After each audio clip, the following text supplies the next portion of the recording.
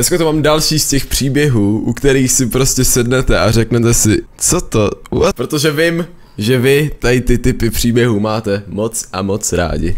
Dneska tady mám příběh pro vás ze základní školy, byla to osmá třída a byl to jeden z těch normálních dnů, který vy na škole určitě prožíváte. Nic moc extra, seděli jste o přestávku, papali svačinu, učili se určitě.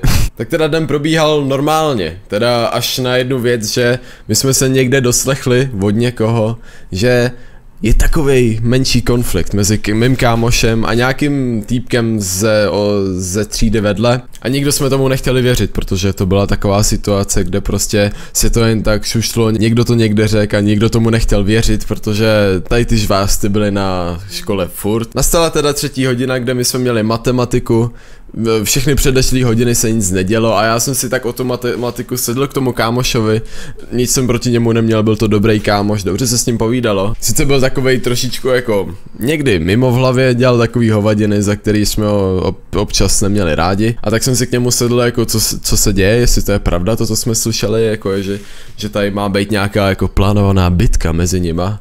A on mi tak jako odkejval, že ty jo, moc jako se s ním nemusím, s tím klukem z vedlejší třídy.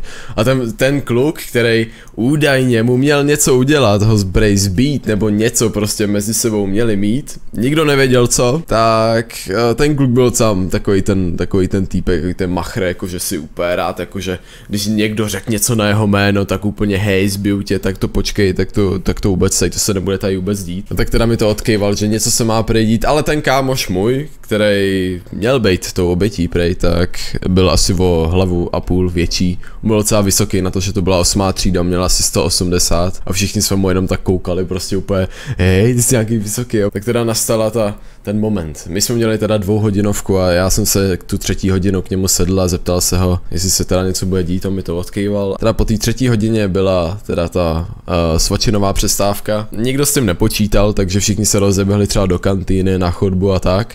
A ve třídě nás bylo asi 8. A můj kámoš tam jen tak sedí, úplně připravený na to. Jde, jde vidět, jak on koukal, prostě byl v takový té pozici, koukal do stolu, jakože úplně ať, že, ať že si nepřijde, to stane teda. A ten týpek, který mu řekl, že mu něco udělá, no má je přišel, stoupil si před tu lavici, ten můj kámoš prostě jenom zvedl hlavu, on seděl celou dobu a ten týpek, ten macher prostě, který ho měl v plánu úplně zmrskat na místě. A já úplně v ten moment jsem si řekl úplně ty kráso, to nedopadne dobře, protože několik bytek už na základce bylo, bylo jich hodně a bude fakt jako někdy si říkám proč. Tak teda kámoš se zvedl ze židle asi do nějakého bojového postoje se postavil. Já teda, jak jsem čekal úplně nějakou mega bitku mezi těma dvěma, tak ten macher, který prostě ho chtěl zbít. Jediný, co udělal, tak mu dal facku. Dal, dal mu strašně rychlou facku, že prostě můj kámoš vůbec nevěděl, co se stalo, jako nebolelo ho to, ale prostě byla to facka. Úplně se mi stáhly půlky, prostě jak mu dal tu facku, protože úplně jsem čekal, že on se na něj vrhne nebo něco, ale jediný, co udělal můj kámoš je,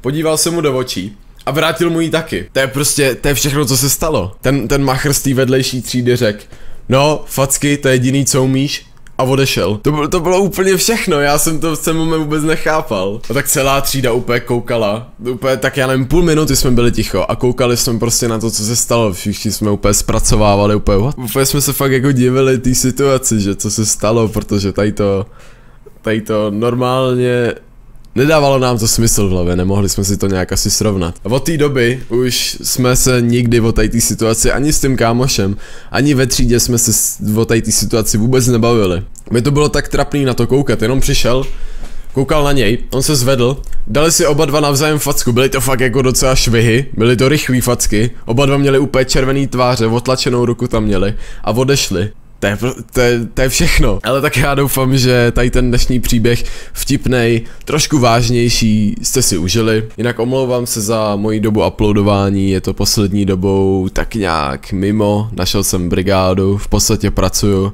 a je takový složitější udržovat tu míru, jakože každý druhý den 19.30 video, ale pokusím se do toho ještě na zpátek dostat, protože jak přijdete do nové brigády, tak uh, je to takový, takový hodně na vás a snažíte se jakoby naučit, přizpůsobit se tomu a nemáte tak čas na, na videa.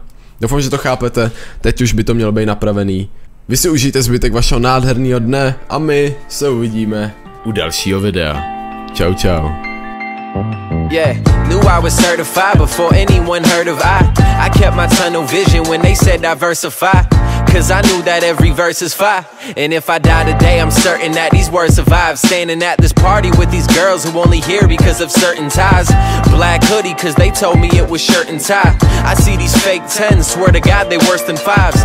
Telling half truths, I swear to God they worse than lies.